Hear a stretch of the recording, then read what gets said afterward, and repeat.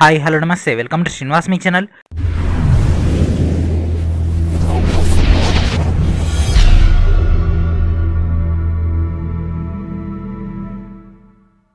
ఈ రోజు ఈ వీడియోలో మనం ఏపీఎస్సి అసిస్టెంట్ ఇంజనీర్ ఏఈ సంబంధించినటువంటి సివిల్ కమ్ మెకానికల్ యొక్క ప్రిపరేషన్లో భాగంగా బేసిక్ సిలబస్ అండ్ అదేవిధంగా ఈ రోజు మనం ఇంట్రడక్షన్ క్లాస్ని డిస్కస్ చేద్దాం. Let's get into video so మేజర్గా మనం సివిల్ కమ్ మెకానికల్ బేస్ పైన ఉన్నటువంటి కోర్ బేస్ పైన మనకి ఈ రోజు నుంచి క్లాసెస్ అయితే రావడం జరుగుతుంది. And at the same time paper one సంబంధించినటువంటి మెటీరియల్ అనేది మీకు సపరేట్గా అయితే ఇవ్వడం జరుగుతుంది.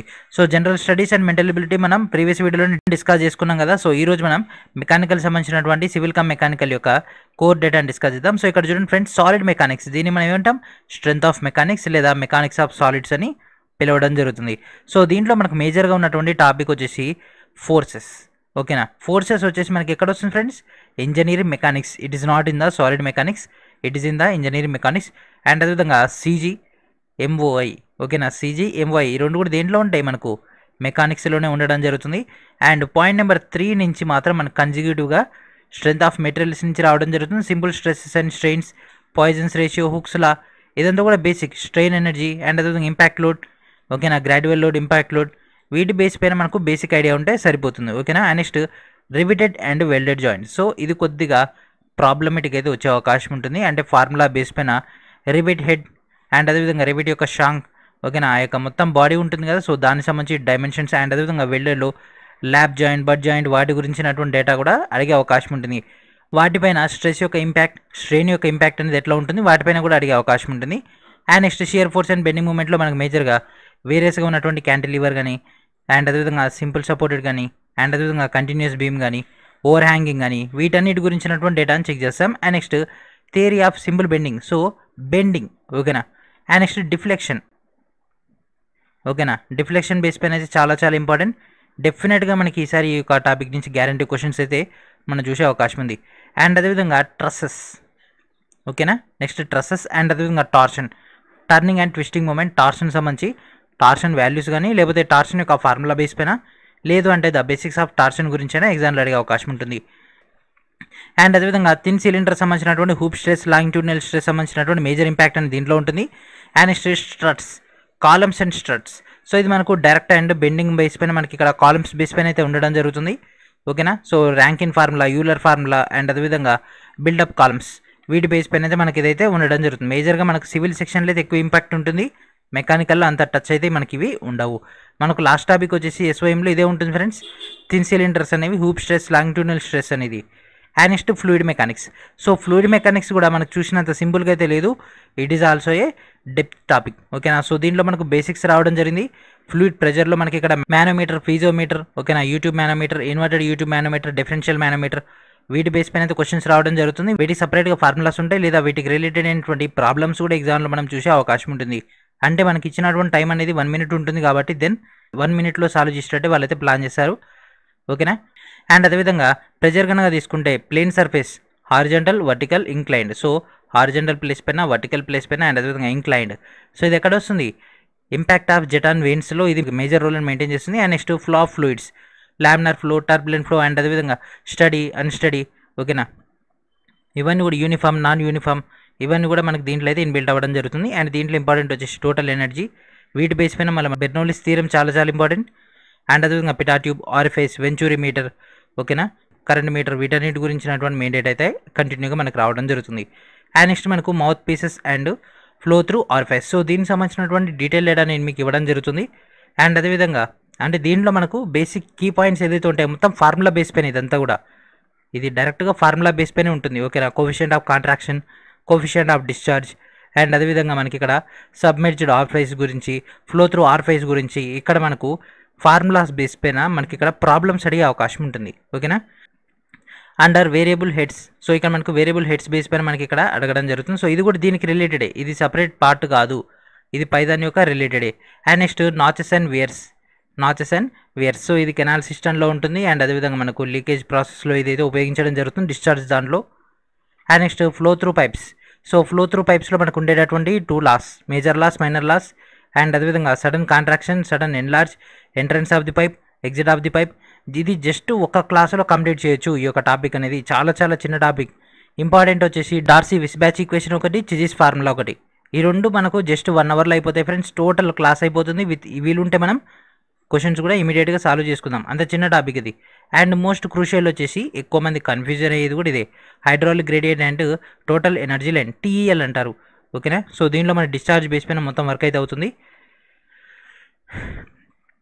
అండ్ నెక్స్ట్ టర్బులెంట్ లామినర్ ఇదంతా కూడా మనకు రెనాల్స్ నెంబర్ బేస్ పైన ఉంటుంది. రెనాల్స్ నెంబర్ రెండు వేల కంటే తక్కువ ఉంటే ఎట్లా? రెండు వేల నుంచి నాలుగు వేల మధ్యలో ఉంటే ఎట్లా? నాలుగు వేల నుంచి పైకి ఉంటే ఎట్లా? అండ్ అదేవిధంగా వాటి యొక్క స్ట్రక్చర్స్ ఇచ్చేసి ఇది సిబిటీ కాబట్టి మనకు ఇమేజెస్ ఇచ్చే అవకాశం ఎక్కువగా ఉంటుంది కాబట్టి మనకి ఇక్కడ ఒక ఇమేజ్ చూపించే ఇది ఈ కింది వాటిలో ఏ రకమైనటువంటి ఫ్లో లామినర్ టర్బులెంట్ అట్లా మనకైతే క్వశ్చన్స్ అడిగే అవకాశం ఉంటుంది. వాటర్ హ్యామరింగ్ కూడా ఇక్కడ అడిగే అవకాశం ఉంటుంది. వాటిపైన ఫోకస్ చేయాల్సి ఉంటుంది. అండ్ అదేవిధంగా మనం లాస్ట్ టైం సచివాలయం డిస్కస్ చేసుకునేటప్పుడే డిస్కస్ చేసుకున్నాం కదా దాంతోపాటు మనం ఇక్కడ వన్ మోర్ టైం కూడా డిస్కస్ చేసుకుందాం. అండ్ అదేవిధంగా మనకి ఇక్కడ flow of liquid flow of fluid యొక్క డేటాను కూడా డిస్కస్ చేసుకుందాం. డిస్కస్ చేసుకుందాం. ఫిక్స్డ్ ప్లేట్ మూవింగ్ ప్లేట్ ఇదంతా కూడా మనం పిక్చరైజ్ డిస్కస్ చేసుకుందాం. ఇంకా మీకు క్లారిటీగా ఉంటుంది. And at the same time ఫార్ములాస్ని కూడా నెంబర్ ఆఫ్ టైమ్స్ రివిజన్ చేసుకుందాం. దానివల్ల మీకు పర్ఫెక్ట్గా గుర్తుండడం జరుగుతుంది. అండ్ నెక్స్ట్ వచ్చేసి వాటర్ టర్బైన్స్ ఓకేనా ఇది దీంట్లోనే ఇన్బిల్డ్ చేయడం జరిగింది. కానీ water turbines is a another topic so ఇది X one that means eleven ఇది twelve and next eleven water turbines so ఇది tenth friends water turbines so ఇక్కడ మనకు introduction of water turbines so దీంట్లో మనకు ఏమేమి టర్బైన్స్ ఉంటాయి friends impulse reaction turbine and అదేవిధంగా మనకి ఇక్కడ మొత్తం స్ట్రక్చర్ అంటే ఫ్లూయిడ్ ఫ్లో యొక్క స్ట్రక్చర్. సో ఈ విధంగా మనం ఫ్లూయిడ్ ఫ్లోని తీసుకుంటాం. టాప్ నుంచి ఇక్కడికి వస్తుంది దెన్ మనకి ఇక్కడ వర్క్ అవుతుంది దెన్ డిశ్చార్జ్ అయిపోతుంది. సో ఇక్కడ నుంచి అంటే మనకు రిజర్వాయర్ నుంచి టర్బైన్ దాకా తీసుకొచ్చేటటువంటి స్ట్రక్చర్లో మనకు మేజర్ రోల్ మెయింటైన్ చేసేది పెన్ స్టాక్. ఆ తర్వాత మనకు మెయిన్ కేసింగ్ ఉంటుంది దాంట్లో మెయిన్ స్ట్రక్చర్ ఉంటుంది దాంట్లో టర్బైన్ అనేది అసెంబుల్ అయి ఉంటుంది. టర్బైన్ని ప్రొటెక్ట్ చేస్తూ కేసింగ్ ఉంటుంది. టర్బైన్ పైన మనకు కావాల్సినటువంటి గేరింగ్ సిస్టమ్ కావాలంటే గేరింగ్ సిస్టమ్ లేదు అన్నట్లయితే పైన డైరెక్ట్ మనం జనరేటర్ని అటాచ్ చేసేస్తాం. సో అంత డీటెయిల్గా వెళ్ళిపోవచ్చు. కాకపోతే మనం బేసికల్గా డిస్కస్ చేసుకుందాం. అండ్ అదేవిధంగా దీంట్లో ఉన్నటువంటి టైప్స్ రేడియల్ యాక్సియల్ టాంజెన్షియల్ అనేటటువంటి ఫ్లో ఫ్లో ఆఫ్ ఫ్లూయిడ్ యొక్క మూమెంట్ని బట్టి ఇక్కడ మనం తీసుకోవడం జరుగుతుంది. ఇట్లా వెళ్ళిపోతే యాక్సియల్ మనకి ఇట్లా తిరిగి ఇట్లా వెళ్ళిపోతే అది రేడియల్ ఓకేనా టాంజెన్షియల్ ఇట్లా రకరకాలు ఉంటాయి. అన్ని డిస్కస్ చేసుకుందాం. అండ్ నెక్స్ట్ లాస్ట్ వచ్చేసి సెంట్రిఫికల్ పంప్ ఇది ఆల్రెడీ సచివాలయం టైంలో డిస్కస్ చేసుకున్నాం. మళ్ళీ యొక్క క్లాసెస్ని రివైజ్ చేసుకుందాం ఫినిష్ అయిపోతుంది. ఓకేనా? సో మీకు ఇప్పటివరకు సిలబస్ పైన ఒక బేసిక్ ఐడియా వచ్చిందని అనుకుంటున్నాను. ఒకవేళ మీకు గనక ఈ యొక్క బుక్ కావాలంటే మాత్రం దయచేసి మీరు డైరెక్ట్గా ఈ వీడియో కింద మీరు కామెంట్ చేయండి. అండ్ అదేవిధంగా ఈ యొక్క వీడియో అప్లోడ్ చేయగానే మీకు పోల్ అయితే కండక్ట్ చేయడం జరుగుతుంది. ఈ యొక్క సిలబస్ బేస్ పైన మీకు బుక్ అనేది కావాలనుకుంటే. ఓకేనా? సో ఈరోజు మనం స్టార్ట్ చేద్దాం. ఏది ఫ్రెండ్స్ సాలిడ్ మెకానిక్స్లో ఫోర్సెస్ ఆఫ్ ఇంట్రడక్షన్ ఫోర్సెస్ యొక్క ఇంట్రడక్షన్ మాత్రమే. ఓకేనా? ఫోర్సెస్ యొక్క ఇంట్రడక్షన్ స్టార్ట్ చేద్దాం అండ్ అదేవిధంగా బుక్ యొక్క బేసిక్ డేటా కూడా డిస్కస్ చేసుకుందాం. సో ఫస్ట్ వచ్చేసి ఫోర్సెస్.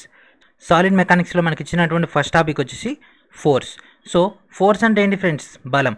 సో బలాన్ని ఎక్కడ ఉపయోగిస్తా? మనకి పని జరగాలి అనుకున్నప్పుడు మనకు వర్క్ అనేది అవుట్పుట్ రావాలి అనుకున్నప్పుడు వీ యూస్ ఫోర్స్ అంటే మనం బలాన్ని ఉపయోగిస్తే మనకు కావాల్సినటువంటి పని కావాలనుకున్నప్పుడు.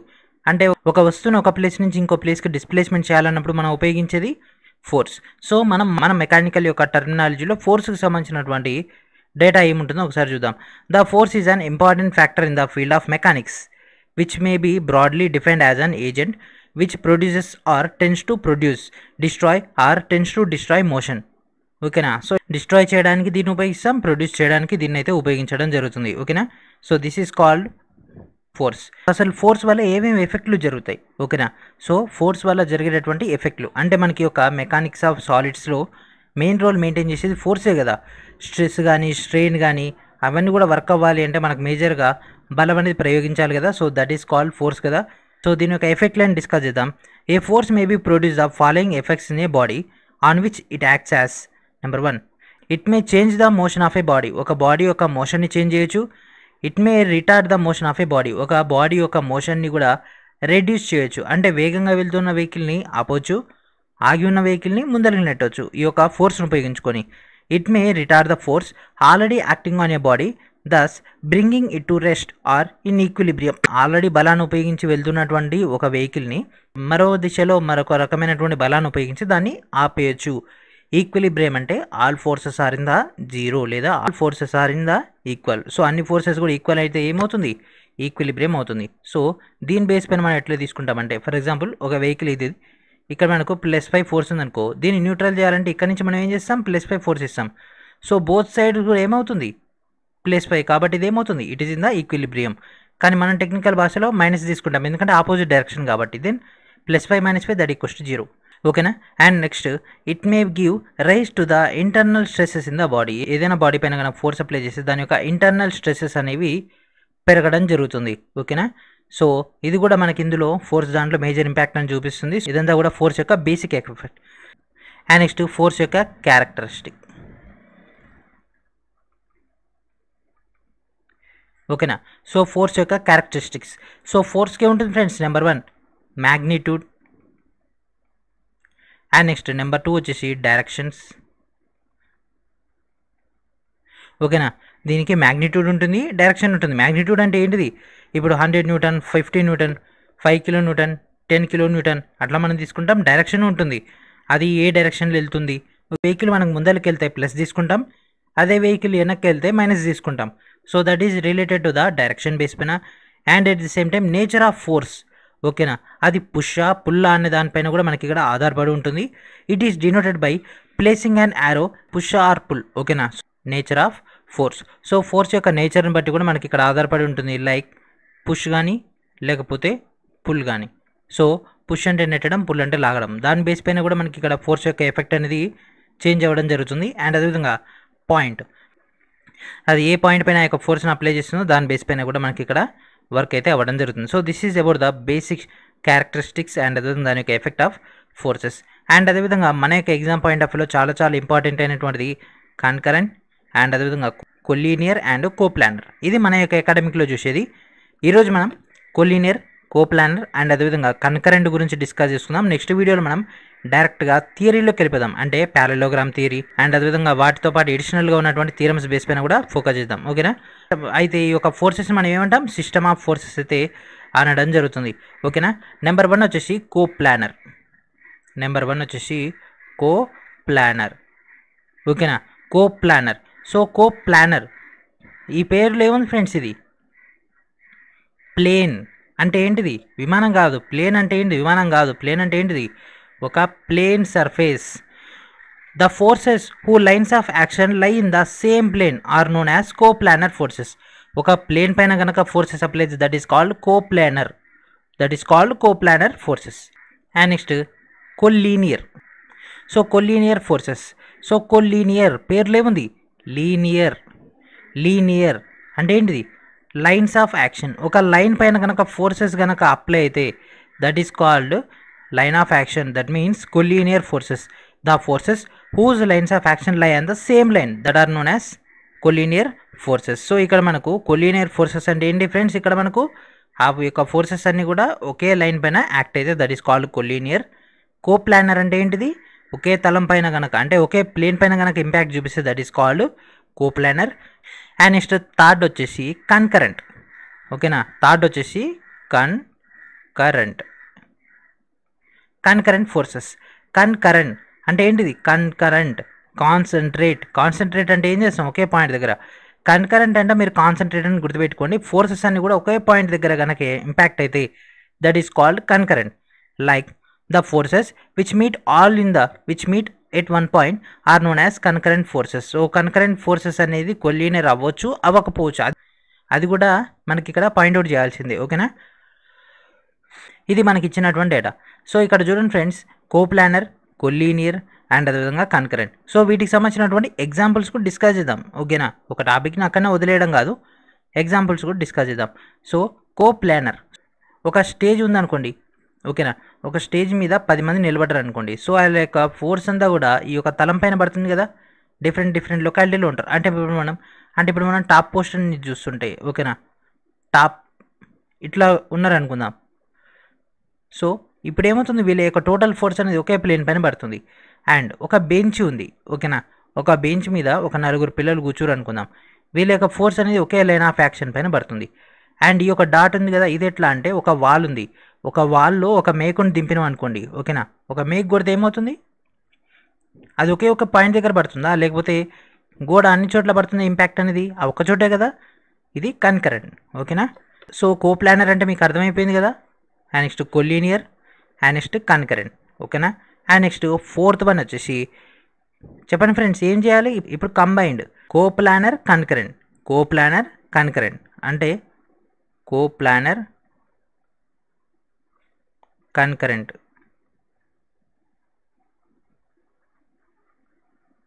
okay coplanar concurrent so coplanar concurrent ఏంటిది?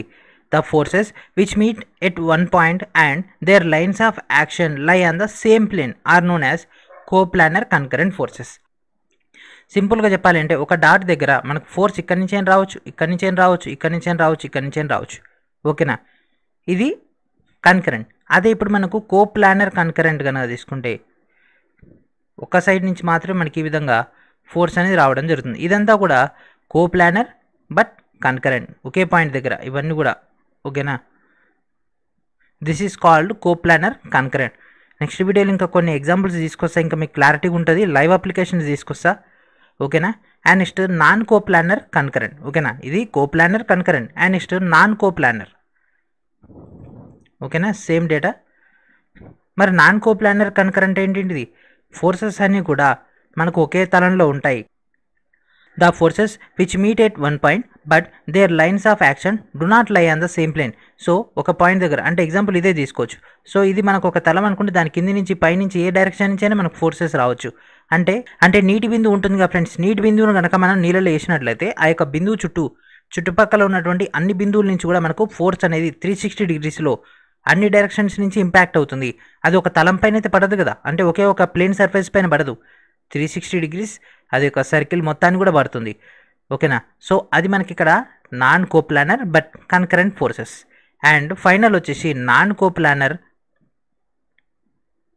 non coplanar non concurrent forces non coplanar non concurrent forces అంటే ఏంటి friends non coplanar non concurrent అంటే ఏంటి? దాని అర్థం ఏంటిది? అది ఒక తలం పైన ఉండదు.